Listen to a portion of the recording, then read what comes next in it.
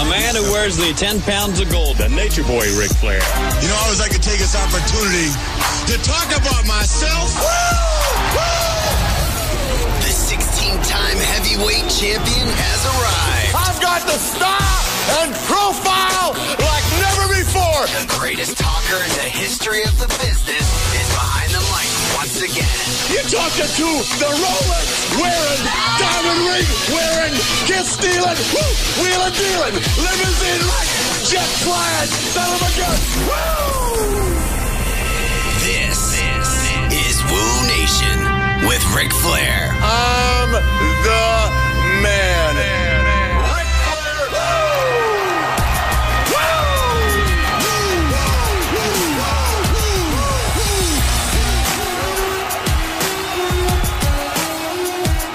All right, we're getting rolling here on Woo Nation, and we are on location in Dallas again with our most requested guest. Isn't that right, Ric? By far. I mean, we have interviewed a lot of people, but nobody has entertained our particular audience more than David Manning, the legendary referee, entrepreneur, and a man who currently, as we speak, after our night out last night in Dallas, is in hot water. David, tell the story. Yeah, I'm making a new rule. We can drink after the podcast, but we don't go out the night before and the night of. so tell the story. It's great. well, you know, we, we went over to uh, uh, Nick and Sam's, had a phenomenal dinner, by the way. That, that got to be one of the best in the country. Absolutely. And uh, good people we had dinner with and everything. So we came back here, decided we'd have one more drink. And you and I got back so late yesterday. I didn't get, I didn't get to go home and pick Terry up to bring her with me.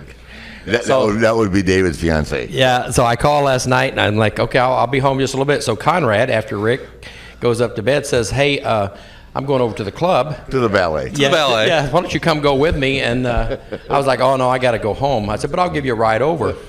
So I take him over. I sold it. Go into The ballet. knowing Conrad, he knew the owner and everything else. So I, I go, I go in to meet the guy and everything, and uh, decide I'll have a Seven Up so that uh, I'm capable of driving home.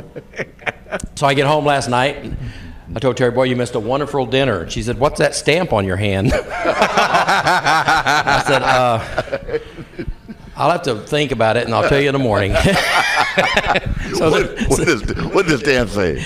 uh, grade A, U- USDA grade A. USDA grade A. Well, that's you good for hanging around Conrad. Well, Here's the way I sold it too. I We're in said, David's town, Just too. an hour. Uh, We're only going to be an hour. One that's hour. what's my, my favorite line. Just, Uh, come just an hour. Look, well, how's it hurt, right? Your wife won't know the difference. Come on. And he starts with just Seven Up, and then a bottle of Crown Reserve shows up. Yeah. Then you have to. You feel obligated. I mean, gosh. Did you fly that bottle in, or someone just bring it in? Uh, it was bottle service at the, at the ballet. at the ballet. Yeah, yeah. Anybody at the ballet you knew, Dave? I went home, 635, 75, yep. stayed under the speed limit. Yep. My kids were all calling this morning after we talked to them yesterday. Yep. Ric told them I might be home by Monday. Well, I always like to allow for you know the variation of schedule. well, you know, after the last podcast, all my friends that weren't around during the wrestling years were asking me, did I go to recovery or, you know. I'm like, no, we, we only drank here and there, but the most of the time when we drank was when Ric was coming through and we were partying again. Thank you. I used to tell people I didn't know how Ric uh, would ever live to be the age you are because I don't know how any human, because he would leave me and go, and the next town he had somebody else, and there he went again. Yeah, but I have someone like you. No, the, the Dallas was a little bit unique. When I couldn't wait to get here. The only other territory I had as much fun in as with Dallas as with Dave was uh, Florida, and that just you know came natural. Fresh fruit everywhere. Yeah, not everybody picked up on that, but I did. Thank you for that. And you know, it, it, you know more than I do because with the WWE and stuff. But uh, I was up Kevin's Kevin Von Erich's kids, uh, uh, uh, Ross and um, uh, Marshall were wrestling up here in Sherman, and Kevin called me, and I went up and got a chance to see the boys wrestle. And Yeah. wow, you're talking about talented? You know, I mean, they. I think they got Kerry and Kevin's genes put together because Marshall's about six five, Wow. probably pushing two sixty, and can do backflips off the ropes. And, Ah, is he going to the uh, NXT wrestling school? You know, well, they well they they uh, Harley. They worked with Harley, Mm-hmm. and they're doing most of their work over in uh, Japan. Oh, really? Okay. And so Kevin had called me, would I go up and help him out with a finish? And so I went up to Sherman and, and got a chance. God, they're just two great looking guys. Tell the whole story. It's great. Well, they asked me to help them out with a finish, so I came up with a phenomenal finish for them.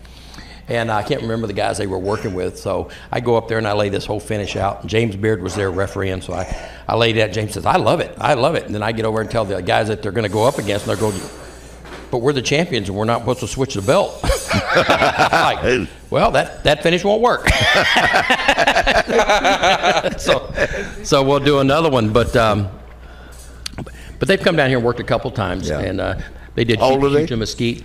Uh, let's see, Ross is a little bit younger than my son Sean, so I'm going to say Ross has got to be around 25, 26, I'm guessing. Marshall a little younger than that. He's probably, uh, I'd say Marshall's been out of, because he was a phenomenal football player in high school. Oh, yeah. And uh, I'm saying Marshall's probably around 22, 21, 22. He didn't play college ball.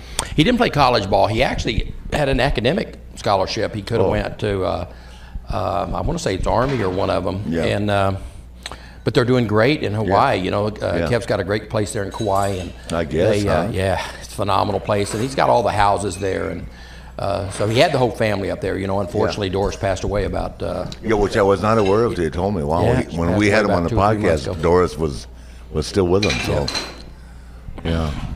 So good times, you know. Kevin, we- we- a lot of people don't know. Uh, whenever uh, it was right after probably Mike's death, um, Kevin really stepped up, you know, and was working there in the office and coming in a lot. Because up until then, you know, you know yourself, they were on the road. Oh, sure. We were doing two shows a night. Yeah, I know. And then I Kevin know. came in, and started helping some with the booking, and uh, matter of fact, he and I bought homes out in South Lake, so we'd meet at my house a lot, Yeah. and go over what we were gonna what we were gonna do then, and uh, um, good times. I keep saying I'm gonna get up to Kauai. I don't know if you've been there, but man, he's got a great place. If you ever if you're ever out haven't that been, way, you know, knowing Kevin, I picture a place like Tarzan's in a tree. well, he's still barefooted. That's what I'm saying. He's still barefooted. I picture a place like Tarzan and Jane, right, in a big tree house, or like Swiss Family Robinson. That's how I see Kevin. I mean, just the outdoors guy. You know, I mean, Well, unfortunately, I was on a cruise ship whenever they did the match here in Mesquite, Mm-hmm. and uh, sold out. They sold out Mesquite Stadium, and. Uh, how many people Let me tell you, big? it was still there. I want to say it was about, I- I would guess about 12,000. wow, that's And uh, uh, could be 8,000. And It's he been so long managed since I've them? been there. He managed the the two boys, but then he came in for the big pop and the claw, and that Yeah. place just, you know how. Oh, you sure. know, I know. people don't know how much they were over here. It was, it Oh, was, I it was do. great. yeah, it was phenomenal. Well, go ahead, Dave. Give us the, give us the joke you gave us a little while ago before we had our first Miller Lite. Well, well, I gave Ric the joke of the day. I guess we can tell this on here, right? Absolutely, yeah. Yeah. I asked him what the difference is in a tire and 365 used condoms. One's a, g- one's a good year and one's a great year.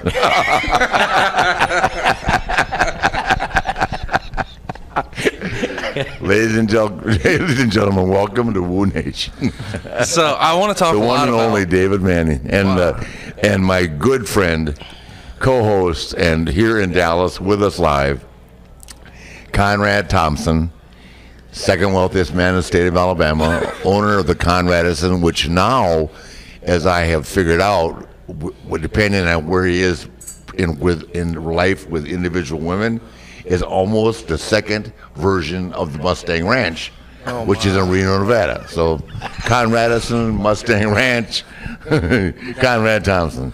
So Hello. you've actually been to both uh, the Conrad Edison and the Mustang Ranch. I have. Uh, now I don't know that you've talked about that before. Tell us a Mustang Ranch story.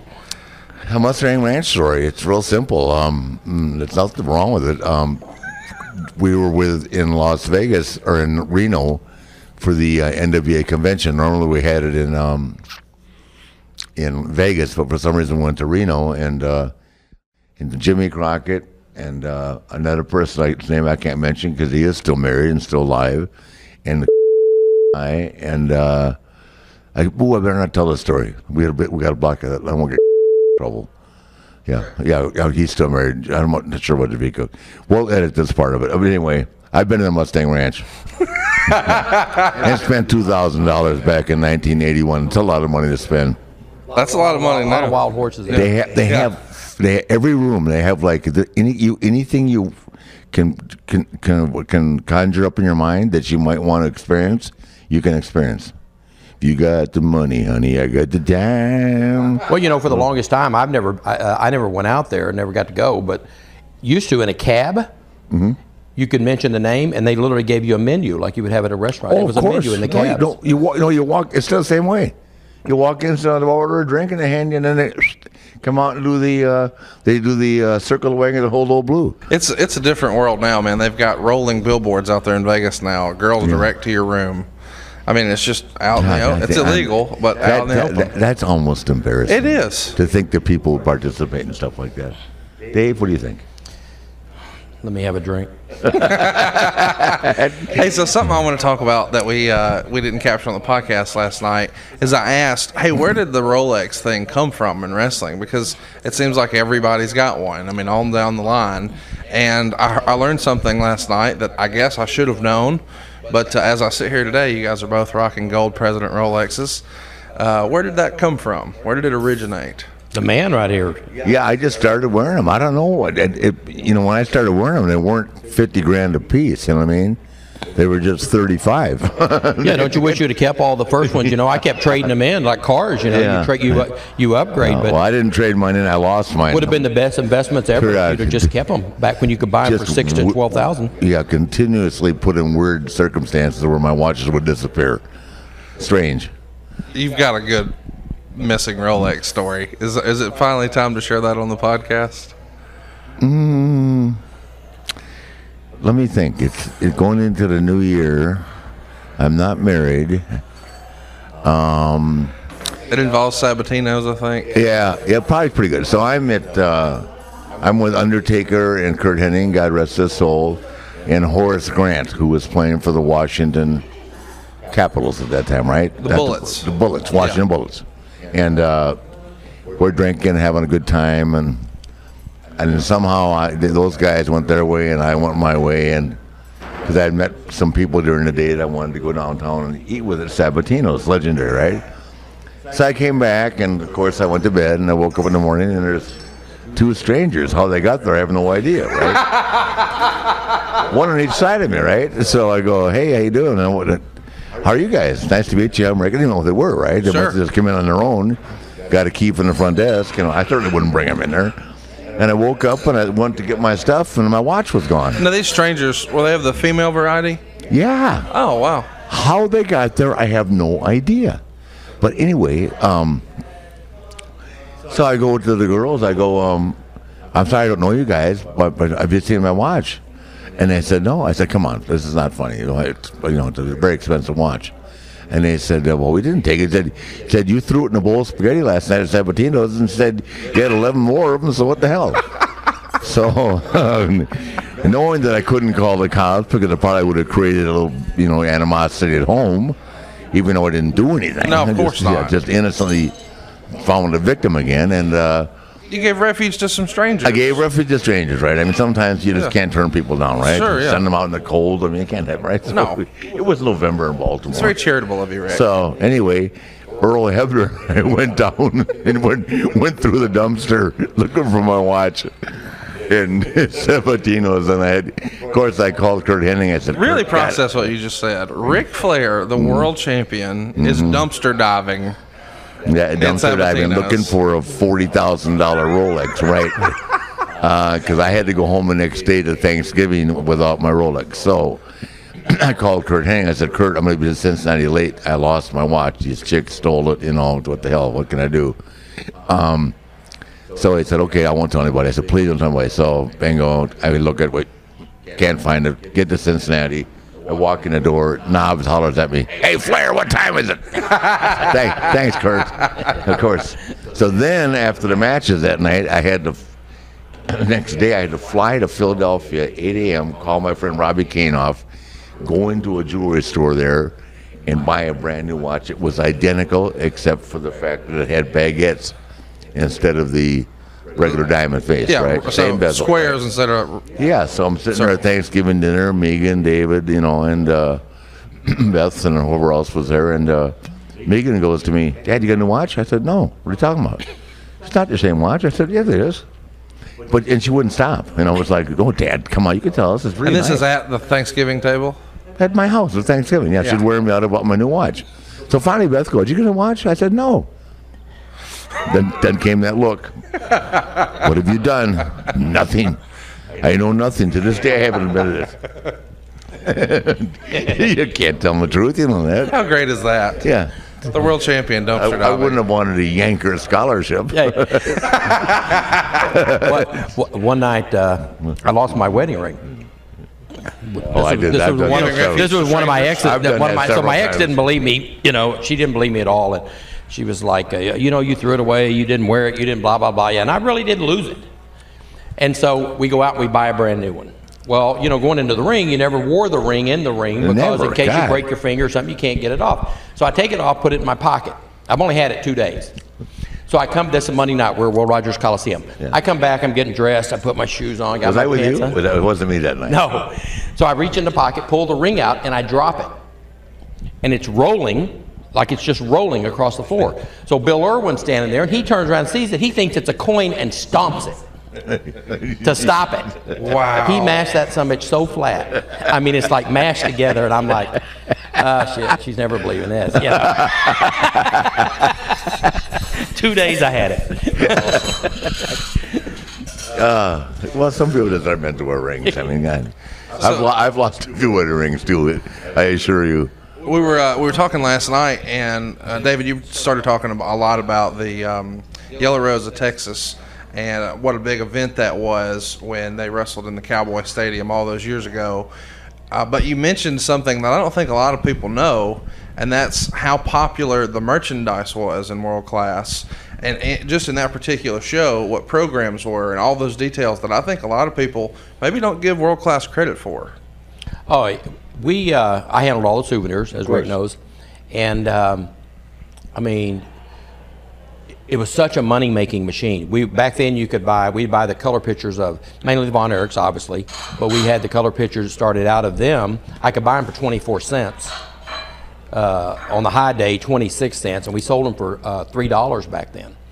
And uh, then when Iceman and gentleman Chris Adams and all the baby faces started really getting popular here, it, it turned into a major business. The Yellow Rose of Texas, we did a special um, a program, had the big Yellow Rose and David Von Erich and the, the, uh, the whole memory, the jacket, the whole works.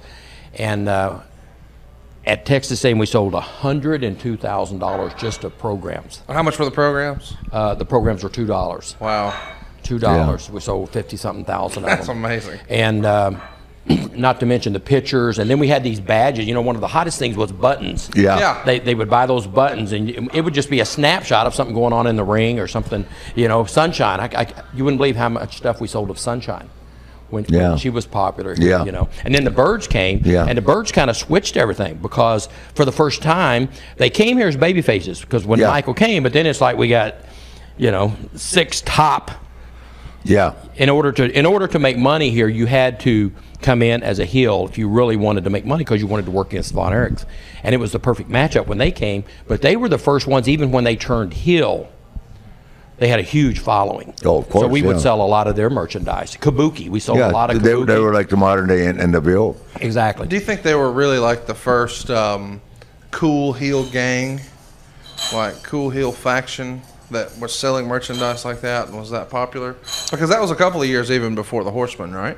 It was, and they had some of their own stuff because when they came in, uh, they were working with a guy named Jimmy Papa here, and uh, they did the the uh, back then the CD, um, The album. uh, the album. They did the album, you know, Bad Street USA, Yeah. Last Yeah, House 'cause- on the 'cause Right. Michael can really sing. Yeah. Yeah.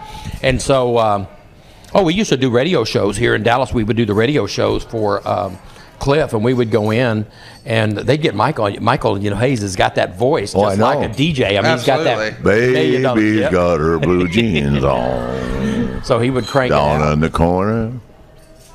But it was huge business. The souvenirs, I mean, and what, what we could have done with it, because we, we just started putting it Uh, actually, the guys I can't remember the name of the store. There were some guys that had had uh, had a hot franchise that was coming out with all the new.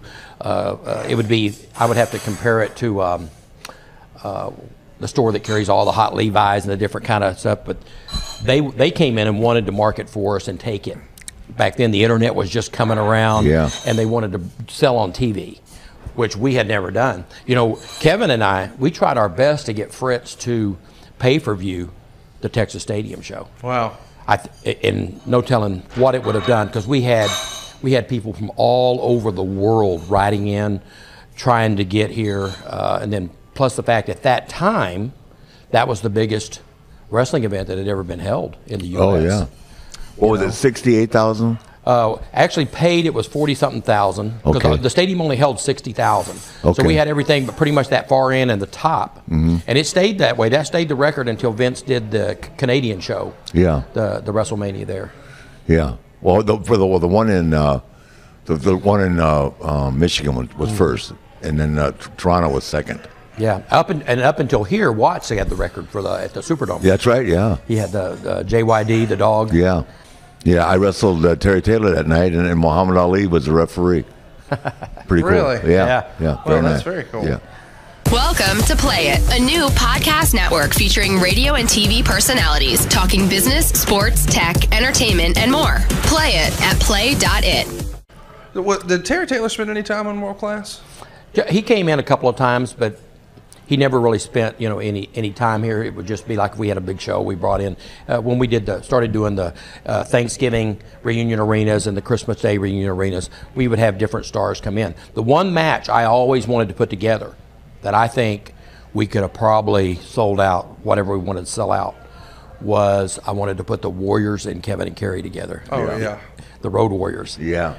I mean, bro, they were hot. I Yeah. mean, everybody was sure. afraid of them. Their gimmick was Yeah. so good. Yeah. Yeah. You know, but we couldn't figure out how we'd do the match without them killing each other. Yeah. No, they were big time players. Uh, Mike and Joe were really a big part of the NWA Absolutely. and uh, early WCW. And AWA, and I mean everywhere. Everywhere, they went, yep, they were a yep, big they were deal great. everywhere. Good workers too.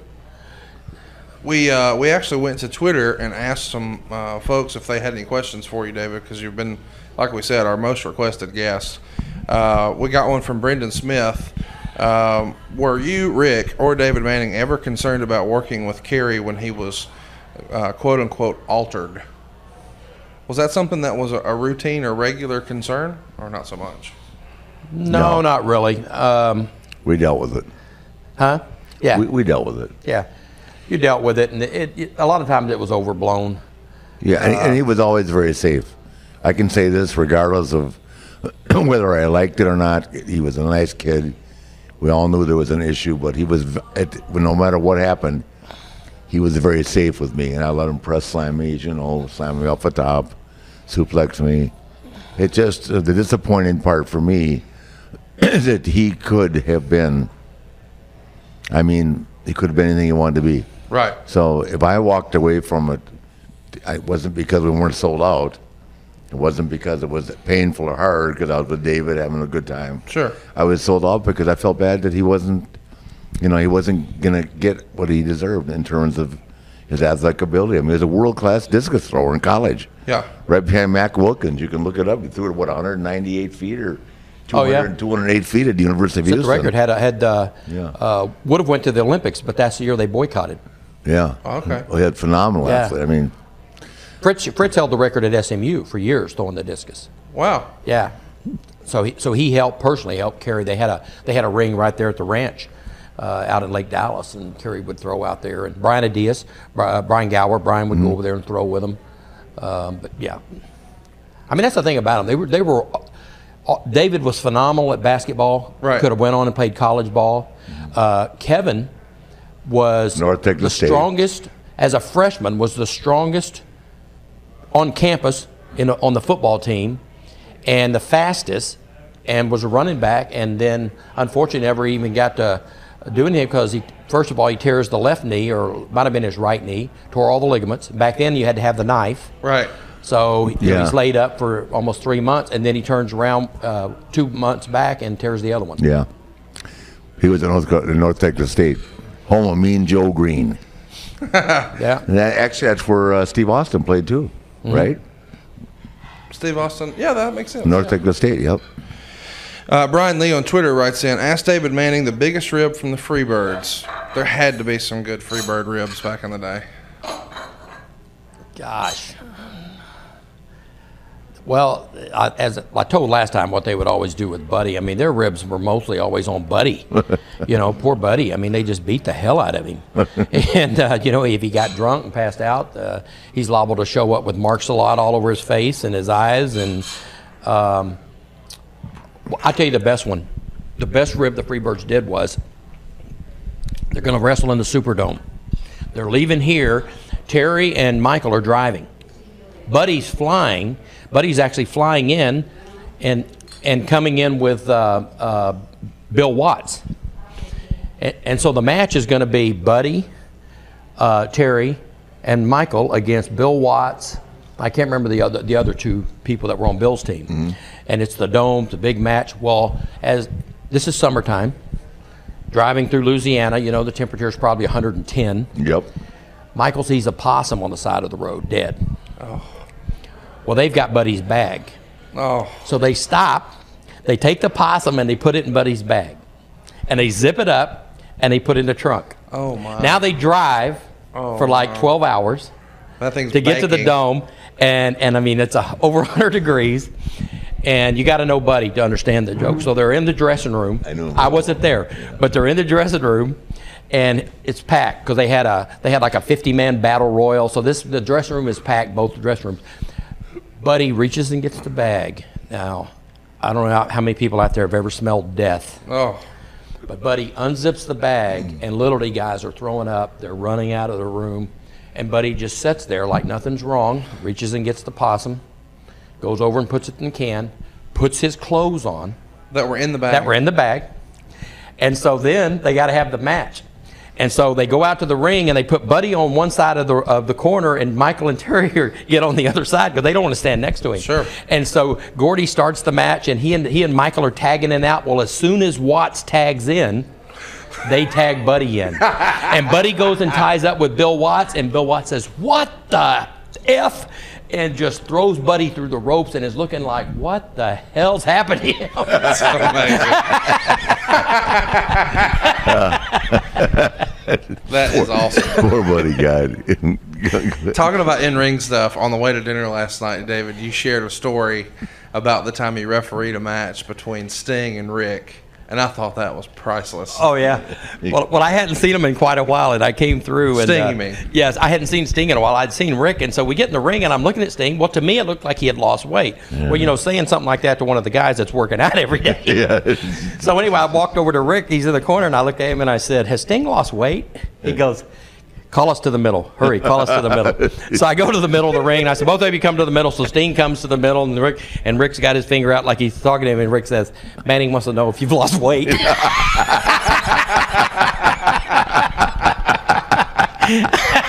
Of course I did. Don't give me an opportunity to seize it, to seize the moment. well, give us that a joke. Come on. Oh, I don't know. Come on. Well, I told him last night if, uh, if you like to play golf, two guys are playing golf, and Yeah. so they're they're they're on the fairway and they tee off and they get stuck behind these two women. God, the women are playing slow and they keep thinking, oh, they'll let us play through. so finally, they get to this long par five and the two women hit down the middle and they're down there messing around. And so one of them said, "That's it, that's it. I'm going to go down and I'm going to tell them we're playing through." And the other guy's like, "Go tell them." So he walks all the way down to the fairway. He gets about halfway there. He turns around and comes back. And the guy said, you tell him?" He goes, "Jesus, one of them's my wife, the other one's my girlfriend." He goes, "Oh shit, you stay here. I'll go tell him." So the guy goes down, comes back. He goes, "Did you tell him?" He goes, "What a coincidence." That is awesome. I can't take it. I could do this all day long. Every I, I know anytime I'm stressed out, I just, need call to- David Manning. Call David Manning. He used to do that. Yeah. I used He used to do that. I'd be there, Dave, Dave. I'm here with so and so. Here, give us one. like I couldn't ever remember the jokes. I mean, Sure. he, if he oh, would get on a plane, he would he would crack the flight attendants up telling them jokes. That was unreal. He told us one today we can't tell in the podcast. Tell the story at dinner last night when we're, when we're talking about real estate and okay, so we're having dinner with my friend Chris here in, in Dallas that owns um, Fishbones, really popular uh, restaurant right across the street from AT&T Stadium. We're going actually we're going to the game tonight. Cowboy Stadium. Yeah. Going to Cowboy Stadium. We're going to go see um, Alabama Roll Tide versus Michigan State. David and I and Conrad and our spouses, and um, um, so Chris says to David, "Hey, I got a hunk of real estate right next to where my place is, and he would be interested in investing in it." And so um, David goes, "Yeah, I might look at it." He goes, "He said." I said, David's got the money to do everything he wants to do. So so David takes out the credit card. He, he throws him the the platinum, right? Yeah, he- first I throw the Platinum American Express. platinum, and then he goes, uh, okay, and then he throws him. No, he says, "You don't have black," so then I pull the black out. I throw the black. So then Conrad starts throwing credit cards. No, they goes. Yeah. I want to hear the tin one. and he, so after got twenty credit cards on a table with about thirty million dollars worth of credit on them, right? All of a sudden, David, man, David takes out five thousand cash and puts on the table, right? And then he goes, he goes to my friend Chris. Don't make me go to my, to my left pocket. Oh, it's been hilarious, God! What a time we're having. absolutely don't make me go to my left pocket. It's probably my second favorite. Oh God! the other joke he told today is my favorite. Yeah, that's pretty hard to beat. yeah, we can't tell the kids. I'm sorry. Marv on Twitter uh, asked a great question uh, that I'm sure there's a fun story about. At the Sportatorium, uh, there was the little crowd crossing rope, and then there was a fan who kind of jumped over that and into the ring with Big John Studd when he was under a hood. Do you remember that? Is there a fun story with that? The only thing that was fun about people jumping in the ring, because you know what happens back then, and I don't. It may be the same way now. It was really bad because if a, if a if a guy jumps in the ring, the the, You- the you- baby face really can't do anything to No, him. but he'll get the heat. So guess who gets to beat him up? Me. So I always got excited when somebody jumped in the ring. You know, one night one night somebody jumped in on Buddy Roberts and they just jumped on him. And I guarantee the guy's got a cauliflower ear because I waffled him in the ear solid about 10 straight times, you know. And, um, but, um, you know, Big John Studd, though, anybody jumps in the ring, him, he was a big guy. Yeah, The God. best one was Kamala. Kamala was wrestling, and when he first came in here, Kamala goes outside the ring, and some guy runs up behind Kamala. And, and I don't think the average fans realize how hard it is in the ring. They know everybody thinks, oh, it's padded. yeah. Let me tell you something.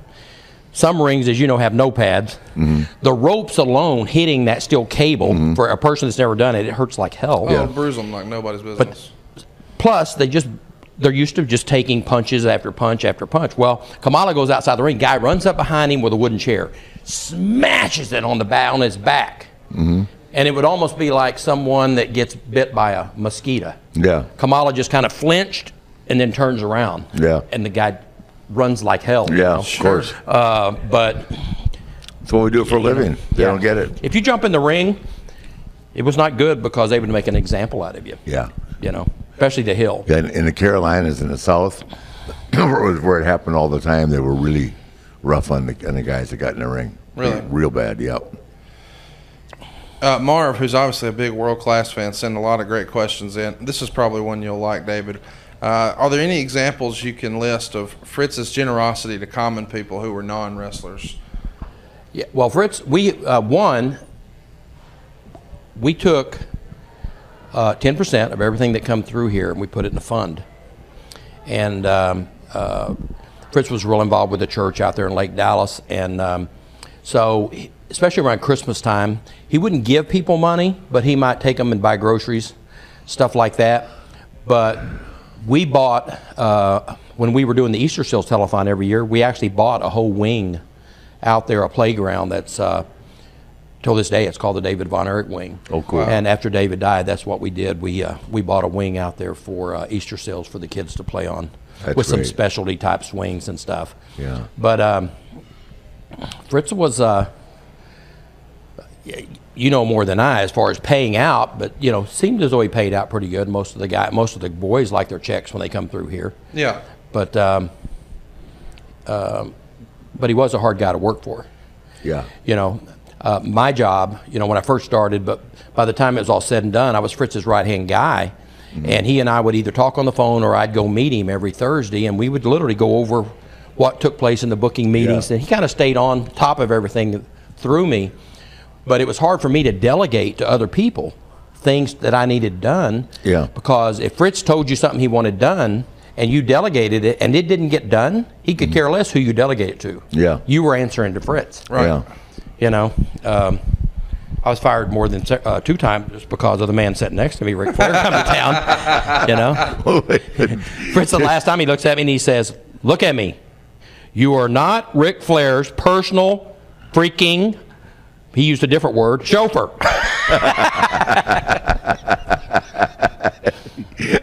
you weren't. We just had fun. Oh, we did have fun. Oh, Did God. we tell the uh, Rambo story on the last podcast? Oh, just a Oh, this, is, this is a classic. It never gets old. We got to share this one. Well, Ric comes to town and uh, Lex Luger after the matches. So Luger, Ric, and yeah, myself. Ron is long gone now. we we get a limo, and uh, we well we had the limo. We left re, Yeah. uh, we left reunion, so we go down to Luger wanted to go to the Million Dollar Saloon. He'd heard about the Million Dollar Saloon, which was a big strip joint downtown, one of the biggest, nicest. So we go down there, and uh, we go. did I a- did I ever go in? yeah, You waited in the car. Yeah, you were dumpster diving. Dumpster diving. You were passing out scholarships. But uh, we, uh, so we get down there, and there's three guys all night long that are heckling us, and they're really heckling Ric. And you know, every time, because it was funny because the girl that was serving us, Ric's convinced he's going to get her to take her top off. She won't do it. So every time she comes, he's like. There, uh, there's a table and he keeps laying hundred dollar bills out. Right there, honey, right there. Take it off. She's like, no, no, I can't do it. So then she'd bring us another shot, and she'd have a shot, and Ric, he'd be added to the pile. Now there'd be like six hundred dollar bills. Come on, she said, "Oh, I can't do it." Well, finally, he's got over a thousand bucks out there, and here come all the other girls, and they're looking at her. Are you crazy? Take the top off. So she ended up getting the money. but but anyway, we go to leave, and we're, I would say, luckily we had a driver, so we go out, and as we're leaving, um, I don't remember what was said, but as uh, Luger had already got in, Ric had already gotten the limo. I get in the limo, and just as I get in, the the one loudmouth says something, and I don't know what it was, but it just kind of set me off. So we get in, and back then I had the the watch, the nugget, the gold Yeah. nuggets, the change, twenty dollar gold He had, he, he had his uh, Mr. D kit on. Yeah, Yeah. starter kit. And so uh, all of a sudden I start taking all this stuff off and laying it on the seat. And I look at Ric and I And I thought he was just kidding. I mean, I didn't know he, he just. I mean, I've seen him do it before, but I thought, God, no way he's going to go out here. Sure enough, so I'm like, this is for you, Ric. So I get out, and they're kind of down this little hill, probably about 20, I'm going to say 25, 30 feet away. So the loudmouth is in the middle. Guy to the left's pretty good size. The guy to the right, a little smaller. So as I'm walking towards them, I'm kind of talking as if we're going to talk. But I'm already analyzing that I'm going to. I used to wear this big Texas nugget ring. So I'm just thinking I'm going to waffle this guy that's uh, loudmouth. And then I'm going to headbutt this one on the left. And then I'm going to kick this one on the right. So I've got it all built out in my mind, right?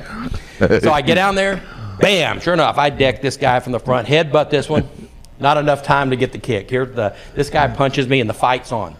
So the three of them were fighting, and we fight all the way back up. You know, I got six fists coming from everywhere. We fight all the way back to the limo.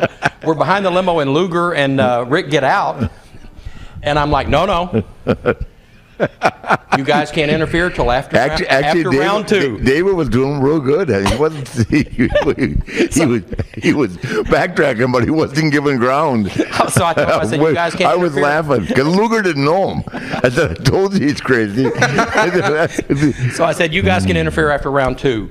So just as I go to plow into him again, I look and here comes the police. And I'm like, oh, Jesus. So I go get in the car and the limo's pulling out and all of a sudden we hear on the window. So we roll the window down, the cop pointing at me and he's like, come out here. so we, I get out of the car. He says, I'm going to have to put you under arrest. And uh, so he arrests me and the three guys. And he puts them in the back of the car. Well, the one guy that I hit, I caught him good with the ring. He is split wide open over his uh, the his uh, eyebrow. And so here we go downtown. I'm in the front seat. We're going downtown. The limo's following. I had forgotten this story. so we go all the way down to, to to the police station, and I have to go in. I have to get you know go through all the crap and the yeah. pictures, and so the cop comes in. He says, "Hey, the Ric Flair and them are out there waiting on you," and uh, Of course we were. yeah, he said, "Here's the deal: when you go to court, I have to be there." You tell the judge it was self-defense. These guys jumped you because he said there's no judge in the world going to think you were dumb enough to go jump on three guys. and he said, "I'll back you up," and he did. I went to court, didn't get in any kind of trouble. We bailed him out. Away we went. That's awesome. Had a big meeting the next day. Met my friend Brian Dorsey. That's how first time I met him. I said, "I have your shirt. I got to go to a meeting." He said, "What the hell happened to you?" I had my shirt was all ripped, and oh Jesus, I looked like I'd been in a freaking. I was in. Ri- I wake up. I'm in Ric's room, sleeping on the floor, and I'm thinking, "What the hell happened?" I'm looking at my face, and Lots of people wake up in your room with no idea what happened. I know, including, including myself. I did, but it was fun. So from that point on, when I'd show up at the matches, it was Rambo. Rambo. Was, Welcome to Play It, a new podcast network featuring radio and TV personalities talking business, sports, tech, entertainment, and more. Play it at play.it. hey, you got to tell this story. He doesn't know the story, Be- and it, it's not one that's going to embarrass you, but it's fabulous. About a fighting with the guy over the over the uh, Parking space. Parking space. The guy karate kicked you. no, God, this was great. This is when he was hustling in the bowling alley. Yeah. So anyway, so I got a couple of buddy of mine's with uh, buddy of mine. They uh, we ride up there, and uh, Bobby's in the front seat with me. And so anyway, I pull in to Chili's parking lot, and this was when I'm oh I don't know, 28, 29 years old, 27. I pull in. There's a guy backing out of a parking place. so he backs out a little bit, and I'm just going to wait on that space. It's kind of crowded, and so I'm waiting. Well, he backs out. And he stops. Starts backing out. And he stops. And I'm like, what the heck? And he backs out. Right. But he's looking at me the whole time. And I'm like, just chilling. I'm talking to my, you know, my friends. And so finally, he backs out. And out of the blue, he just gets out of his car. And uh, kind of a oriental looking guy. And he's like, you got a problem? And I'm, I'm looking at him like, I'm looking at my buddies. And Bobby's like, kick his ass, Dave. Kick his ass, Dave. You know, and I'm like, I'm like, well, what the hell? You know, it's a, I'm like, I get out and I'm like, I just want the parking place. And he's all of a sudden gets all obnoxious on me. So I'm like, okay, I will kick your ass. So I start walking towards him. And shit, all of a sudden he's like Jackie Chan. This guy comes flying through the air and gives one of these side kicks, and he caught me right in my solar plex and knocked the wind out of me. Right. I mean, and you know when that happens, you feel like you're dead. Absolutely. you can't breathe, you can't get a breath. I literally just went face down on the concrete, and I remember seeing his license plates as he drove off. so I don't know. I guess he was just setting me up or whatever, but it was uh, it was not cool in front of my buddies. I love that. Not cool in front of my buddies. Um, Marv wrote uh, some more great questions about world class. Um, specifically, this is a fun one. Uh, any stories about Missy Hyatt or Sunshine? He says more about after that, but I'll just I'll delete that part. We won't we won't reference that. But Missy came up here, right? yeah, Missy Hyatt was here. Uh, what a trip she was. Um, it, it's actually it became major drama because first when Sunshine came, she was the valet for Jimmy Garvin. Right. Then Jimmy Garvin brings in Precious, which was his wife. Right. But Sunshine was actually a true relative. Oh, I didn't know that. And they end up getting into it for real. I mean, it's like, I'll never forget in Lawton, Lawton Oklahoma, we had a cage match that night. And so Garvin, uh, Precious, Sunshine, and Chris Adams, they're going to go at it. And I'm trying to have a talk with the girls backstage. Look, let's just have a good match. Sure.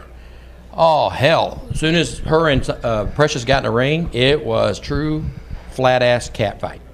I mean, they were yanking hair, pulling. Um, but I guess the best Missy Hyatt story was uh, we're at Texas Stadium. Uh, she was seeing John Tatum. She was also work uh, kind of like his valet Right. and Missy Hyatt and Sunshine are going to do a mud match.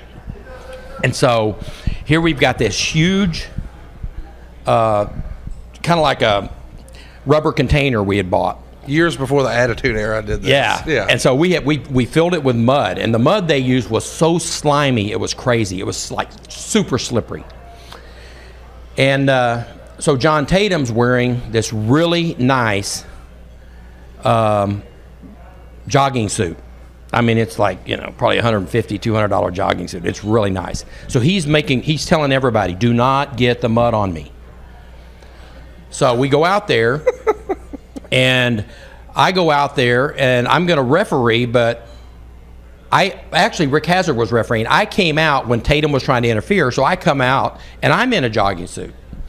So I go out and I hit the ring, and oh my God, Missy Hyatt and Sunshine are covered from head to toe in this mud. Well, they had they had figured out they had it figured out that when I got there, they're gonna throw me in the mud. When I'm already dressed, I'm dressed. I've got you know my clothes, my wallet. So Tatum all of a sudden comes from behind, gets me, and is going to throw me in the mud. And I'm like, I'm telling you, don't do it. And it's a it's a true fight to get Right. me in the mud. Well, I'm like, fine. If I'm going, I grab that brand new Yeah. uh, jogging suit he had on, and we all go in the mud. And uh, this is at Texas Stadium, Missy Hyatt and Sunshine. Oh yeah. And so pretty soon we get to the dressing room and Missy's all I can hear is I'm in the shower trying to get the mud off of me. And all I can hear is Missy Hyatt. And she's like, I can't see anything, I can't see anything. And I turn around and here's naked Missy Hyatt covered with mud from head to toe. How was that? Good back then. and uh, and John Tatum trying to wash the mud off of her. And it took forever to get the mud off of her. Yeah, I'm Uh, sure. But uh, He, he was washing the mud off of her. he took his time. She in Israel, in Israel, um, we went there during Passover, and so you can't, you couldn't have a fire. You know, people just didn't work. To, well, after about four days, every day we're eating eggs, raw, you know, the boiled, and all of this stuff, and cheeses and fish, and so all of a sudden I get a phone call. You got to come over here. Missy Hyatt's throwing a tantrum. And she had literally, they had invited him to this special dinner with the rabbis and all this. Well, as she's going through the line, all of a sudden, out of nowhere, she just jumps up, starts throwing her food. I want a McDonald's burger. I'm tired of this shit, you know, blah, blah, blah, blah. Oh my God. And I got to go over there and deal with it, you know. And uh, that's when all the boys actually went in. I get up the next morning, I can't find any of the boys. And the guy comes, Oh my God, they're in the kitchen. They had literally gone back in the kitchen and told everybody, Get out, we can cook. Is that right? Oh yeah, they, all the boys they had the eggs and bacon and Wow. Jesus. And they like they I walked in there, Manny, we're gonna eat. Don't say a word. that's great. That's the trip Chris Adams. We'll tell the Chris Adams story when I Tell had to get him out of the country. Yeah. That trip, um, the Hills were staying at one one hotel. We were staying over at the Plaza, and uh, so I get a call, and uh, because I always got the calls, you got to get over here. Chris Adams beat up the bartender. So I go to the other hotel. Well, when I get there, there's an ambulance there and all this kind of crap. Well, Chris, you know, the, the super kick was a shoot. yeah. I mean, he was really good. His brother was Olympic judo. Yeah. So Chris had got intoxicated, gotten a, gotten an argument with the bartender, and super kicks him. And the way he super kicked him, it knocked his eye out. Oh my. I mean, for real, out, came out. And uh, then Chris just continued to beat him up. Wow. And uh, so I get Chris, taking back over to the other hotel. So I can't remember this this guy that he got in the fight with was, uh, uh, you know, over there you got like different tribes or different uh, things that people are part of, the Arabs, the, and so anyway, whatever they were, they believed in, no pun intended, an eye an eye for an eye. So Wow. They weren't going to take it. They didn't care about the police or anything. So Avi Friedman comes to me and he's like, "You got to get Chris out of here. You know, they're gonna they're gonna come lock him up." Well, when you arrive there, they take your passports and they lock them in the damn safe. So Avi says, I can't help you, but you got to get Chris out of here. And he said, I'm just saying this tonight the safe will be open. Hmm. Yeah. So I go get Chris. And I said, We got to get out of here. I said, I'll, So we, we get the flight booked. so literally at like 12 o'clock at night, we sneak out of the ho- I sneak down to the hotel. I go behind the where they check you in, go back in the back. I go in where all the passports are at. I get Chris's passport, bring it out. He and I go out. We get a cab. We walk down the road a little bit, got a cab. We go to the airport. and we don't know if he's locked into the country or not. So we get to the airport, we go in. I watch him go all the way through, and once he gets through security and is gone, well, now I got to haul ass back because we're getting close now to four in the morning. I got to go all the way from the airport back to the plaza in Tel Aviv. So I go back. I get there, park down the street, come back, go up to my room, get in my room, and I haven't been in my room 30 minutes till there's a knock on the door. Open the door, and here's police. And they're like, You know where Chris Adams is? I'm like, No, I've been sleeping. And uh, we literally got him out of the country within about 30 minutes, or he might have never left that country. Wow. Wow. Yeah, I mean, it was it was bad. Yeah. We wonder why wrestling has a bad reputation in some places. Yeah, we've we've just we, we've made some disastrous so that we, we have left some places in disastrous You made an conditions. impression. Huh? Made an impression. Yeah, Jesus. So we were talking about uh, world champions last night here at the bar, and you brought up Lou Thesz. And I don't think we've talked about Lou a lot on the podcast, and both of you guys had experience with Lou, and Danny Hodge came up. Yeah. Let's talk a little bit about Danny Hodge or Lou Thesz. Well, I knew them both, uh, and I actually, um, of course, I never wrestled either one of them, um, but um, I was fortunate enough that they both liked me, Right. and um, we were talking about really tough guys in the business, you know, and the difference between now and then and all that. And like for Lou Thesz, he was a world champion, but it was it, it was not a work. Lou thought he could beat anybody, right? he took on all comers. all That- comers, and, and and and the guys were afraid of him. He was tough. Yeah. Danny Hodge the same way, but Danny was easy going. Danny was just, uh, you know, but Danny Hodge was double tough, man. Yeah, crush apples with his hands, break no, more than pliers. that. He could break a pliers. He had double tendons. Yeah, the apples. Forget. I mean, when he could take a pliers and crush the handles, twist off a shower knob in the shower. I mean, he with his grip. I mean, we got disqualified in the Olympics for breaking the Russian's arm with it with the grip with his grip. And with Thesz, you know, see, uh, when I first got into business, Danny Plechas, Bulldog Danny Plechas, Mm-hmm. was working actually uh, on the office side, but he would still work a little bit. But Pletch used to travel with Thesz uh, all over the world, and Thesz would take on all comers. So if there was anybody that thought they could beat Lou Thesz and they were a tough guy or whatever, no problem, book the match. Well, after uh, Thesz kind of started getting on up in age a little bit, what they would do is Plechas, if they thought they had a ringer coming in that he might have trouble with, they would have Plechas wrestling the night before and beat the hell out of him. Wow. you know, and then because Plechas was another guy that was Yeah. tougher than nails. Yeah, yeah. You told a great story last night, David, about Harley Race with a bunch of bikers who thought they were badasses at a show, and he and Harley approached them. Share that story with us. Yeah, us. Iceman King Parsons, who was a big star here, Ice told me that uh, he was up uh, working for Don Owens in uh, Portland, and so uh, after the matches were over, I guess these bikers and I don't know what group it was, you know, back back in the '80s, you had the Hell's Angels, you had others, but anyway, these bikers were there and they were up causing some trouble with a couple of the boys, and uh, Harley saw it, and so Harley walked down to the ring in his flip flops. He had his flip flops on. He'd been in a shower. Walks down, just got a little pair of tights on, and um, walks up to the bikers and out of nowhere says, "So you guys are tough guys, huh?" And he said, "Which one's the toughest?" Why don't you go a couple of minutes with the world champion? So one of them steps up. "Look, I can kick your ass. So they get in the ring. I mean, within instant, Harley gut punches him, ki- kicks him, pulls his head down, gets him in a front face lock, lifts up so hard the guy peed himself. Wow. Yeah. Oh, Harley was the- tough. Yeah. But Harley, what, what Harley did, I, a couple times I've seen it, they never got through the ropes. The minute they been over, they were coming through the ropes, just in case. they never, they never got their head straightened up, man. Yeah. And he was left-handed. They never saw it coming, man. And he was mean. Wow. Yeah, the greatest story that I've ever seen and witnessed was one night this karate guy chal- in West Palm Beach challenges uh, Harley. Comes in every week, right? So the guy comes to the ropes. Harley nails him. Boom, kicking his butt. So four more guys jumped in the ring. Larry Hennig was there that night. Curt's father, right? Yeah.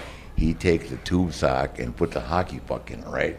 He runs down to the ring, swinging this damn thing, right? It comes. this is a grand. I've never told this story. He gets in the ring, and here's Larry, 300, 6'5", Yeah. 330 pounds, right?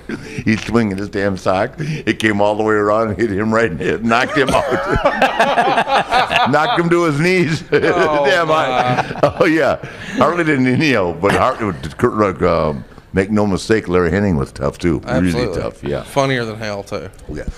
Great guy. I, I had hoped he'd come to Minneapolis last week at Raw, but uh, uh, Joel Curt's son said that he, had, he just had too much going on. And, and apparently, uh, Joel's grandmother was uh, not feeling well. So, but Larry Hennig's a classic. I saw his uh, induction at the Cauliflower Alley, and man, he was Yeah. the highlight. Yeah, he had him rolling. Yeah, he's phenomenal. Yep, fearless. Great question here again from Marv, who's obviously a huge world class fan. Uh, I wanted to know a little bit about the Brian Adias and Von Erich story. Do you know the history behind that? Yeah, Brian. Brian. Uh, it was Brian Gower was his real name. Uh, still a very good friend of mine. Uh, Brian um, and Kerry grew up together. Played football together at Lake Dallas, same grade. Worked out together, and uh, so when Kerry got in the business, it wasn't long after he brought Brian into the business, and so Brian came in as a baby face, and we called him Brian Adias, and. Um, worked good. Was always obviously, you know, in the middle, semifinals, stuff like that, and um, great athlete. And then uh, we got a pretty good run out of it when he turned on Kerry, because here they were, and the people, you know, the people here, and I always say this is what made world class so different. The fans saw the Von Erichs grow up. Yeah. Okay. Yes. So, I mean, all the way back when Fritz would come to the ring and he'd have him, and Kevin wasn't more than you know, uh, uh, sixth grade, fifth grade. So, all of these people out there, they they lived it. I mean, these were like their boys. Yeah.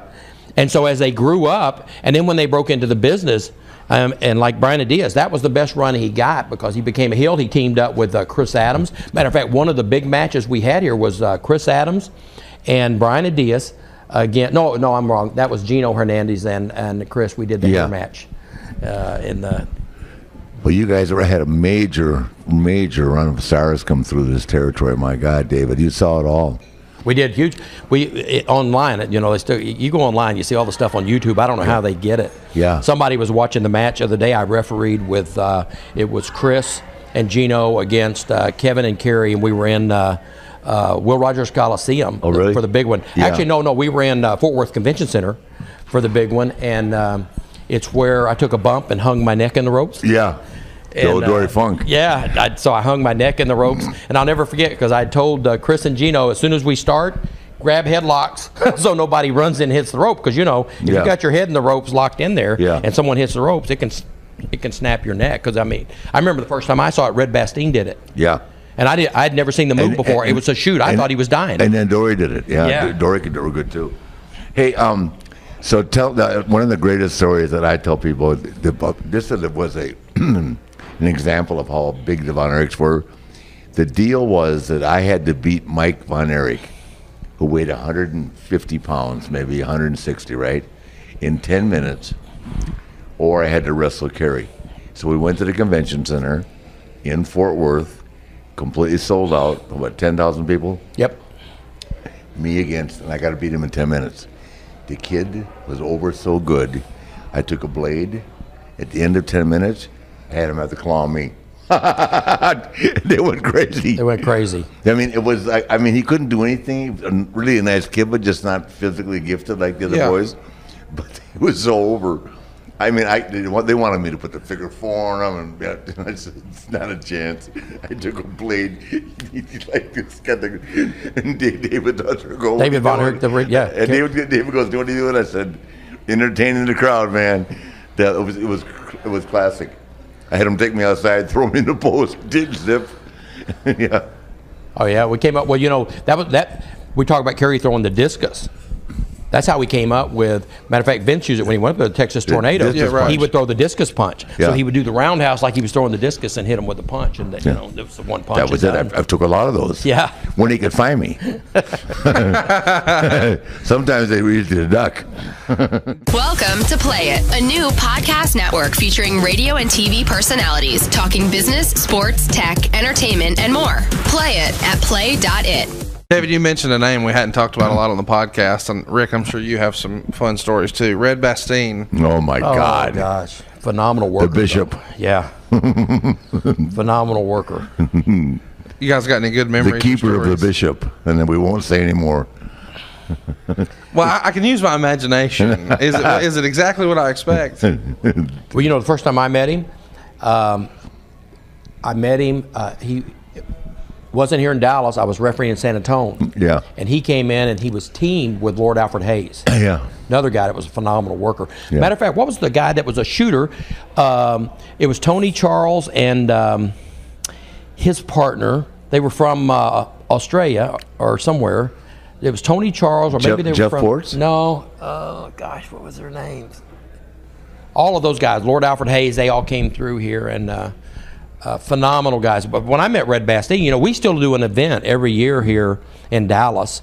Uh, Johnny Mantell puts it together, Mm-hmm. and it's it's based on Red Bastien, started it. It's where all the guys come back. Mm-hmm. Yeah. They're still around this area, and we all get together once a year. Yeah, and, the, uh, the irony of the, this all coming together in this question is that the night before I came here for the big stadium show with Kerry, I was in Portland with Roddy Piper. And uh, we'll, when we want to say a few words about Roddy before the show I and Dusty, but and we were drunk. All, I mean, really, at a place called Red Lion on Jantzen Beach. We didn't go to. I had a six o'clock flight. I'm coming to Dallas, right? I already know what I'm doing, right? But it wasn't like it was hard to do, right? I barely made the flight. Piper and I and Red Bastien. Oh. Pipe, I said, Piper, we're putting him to bed because Red could drink. And he always said he could put you to bed, right? Piper and I put him to bed, tucked him in. I went in my room, didn't even change clothes, got in that plane, flew to Dallas. David picked me up, went to the hotel, changed clothes, slicked the hair back, walked in the building, and the rest is history. But I almost missed my flight. Wow. We got was we got. Have you missed any flights this year? this year? Let me think. Um, Maybe in Texas. Oh God, I missed a couple with you in Laredo. no, in Houston. Not talking to you anymore about that. That's not funny. yeah, that was hilarious. Well, drank myself right through three flights with Conrad one day. We were Oh, celebrating. Bloody Marys, my God. Forget it. You know, when you talk about Dallas, though, I look all the way back. When I first got in the business, to look at the stars that came through here. Oh, of course. I mean, when I first got in, I, I was like a mark, Yeah, you yeah. know, and, and you had Duke Keomuka, you had Killer Karl Kox, you had um, uh, uh, the Brute came through here Yeah. when in one of his last few Brute shows. Bernard. Brute, the Sheik, Yeah. came through, and then here, I mean, uh, Big John Studd. You talked about him. We had the spoiler. Yeah. Uh, uh, Gary, Gary brought in the spoiler. John Jar- Don Jardine. Yeah. And he brings in uh, uh, Mark Lewin. Yeah. I mean, I think sometimes back of all the guys that's come through here. Yeah. That were Market rock and roll. Yeah, you know, superstars and other places. Tommy Fulton and, and uh, Bobby Fulton and uh, Tommy Rogers You know, came Bobby- through here. Tommy Rogers died. yeah, he did die. In Hawaii. Yep. What did he die of? You know, I don't even know. I I see. You He's a know, young I looked kid, at Facebook and a I saw handsome- Facebook. I saw Bobby had posted some stuff, and I don't it's think really it was good. I don't. I, I, I think there was a substance. Oh, really? Issue. Wow. I haven't heard. Well, I Well, don't wanna- man, good I don't want to end on a bad note. So let's tell the story about the time you introduced uh, Ric to a pretty straight-laced friend of yours who was celebrating her birthday. Oh my God. Oh, yeah, it's okay. I'm, I'm not married I- now. this is great. Ric's coming to town, and we're gonna go out. And so, um my one of my exes, it's her best friend. What am I? Can you, you so- sound like me. It's a And, roll the uh, dice. So he's uh, he's coming over, and we're all gonna go have a drink. And I'm like, Ric, now listen, this is a straight girl. I mean, she's a nice girl. Uh, be nice to Debbie. Don't, you know. Uh, We'll just have a few drinks. Oh yeah, no problem, no problem. And I, I said it's her birthday. Oh, it's her birthday, you know, blah blah. So anyway, a little bit later, the doorbell rings. Are you sure this is me? Yep, my, It was- yeah, was- it was you. My ex says, it was- "Hey, Ric's here," and I, I look. As soon as he walks in and I see the trench coat, I'm thinking, "Uh oh." And he comes in and uh, I hear, uh, "Rick, this is Debbie." Oh, Debbie, I hear it's your birthday. He opens up the trench coat. There's a big bow. and that's about it. Happy birthday. You sure it wasn't Harley? no, it wasn't Harley.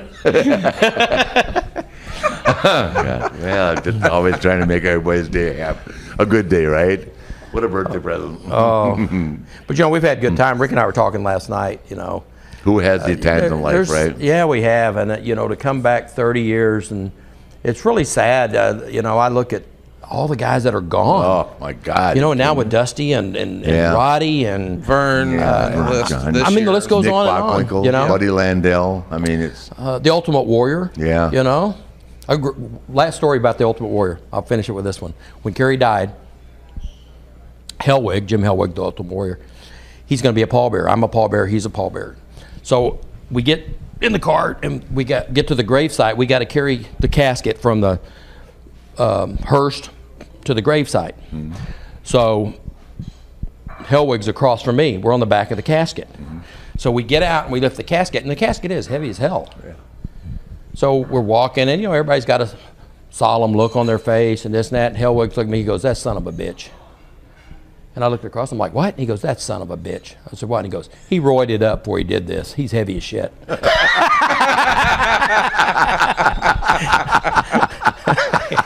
I'm thinking, are you kidding me? He's the best. Ladies and gentlemen, Conrad Thompson, the Nature Boy Ric Flair, and the legendary David Manning in Dallas. Okay, Dave, who wins the games today? Clemson, Oklahoma, Michigan State, Alabama. As obviously the three of us are going to the Alabama game.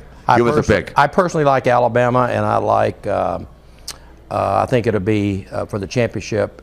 Alabama's going to be playing um, Oklahoma. Oklahoma. That's your pick? That's my pick. Okay, ladies and gentlemen, that comes from a guy that knows how to bet, knows how to gamble. He's reeled in all those bad habits. He's actually, can I announce the fact what you're doing on Monday? Well, but be careful because of the fact that my big picks were Baylor and Mississippi State. It wasn't these two games, so Mm-hmm. Yeah. uh, Well, I didn't always- bet them. always But I told some friends that's Okay, who I of like. course, they both won big time. But yeah, what's happening Monday? Yeah. Well, no, uh, tomorrow, rather. Ooh. Yeah. At noon? Why not? Yeah, tomorrow at noon, David is getting married. Yes, I am. and am. I'm going to be there, so will Conrad. After 10 years of uh, being, started being happy. uh, having the best fiance in the world, we're, we're going to do it. Well, you know, I have a great one now too. But Uh, yeah, you know, you know, I'm going to put have so much pressure on me. Every time somebody does stupid like something like that and get married, it falls back on my lap. I know. I know you said you're going. I'm not going because I'm going to get pressure too. So just have Yeah. to send me the pictures. Yeah.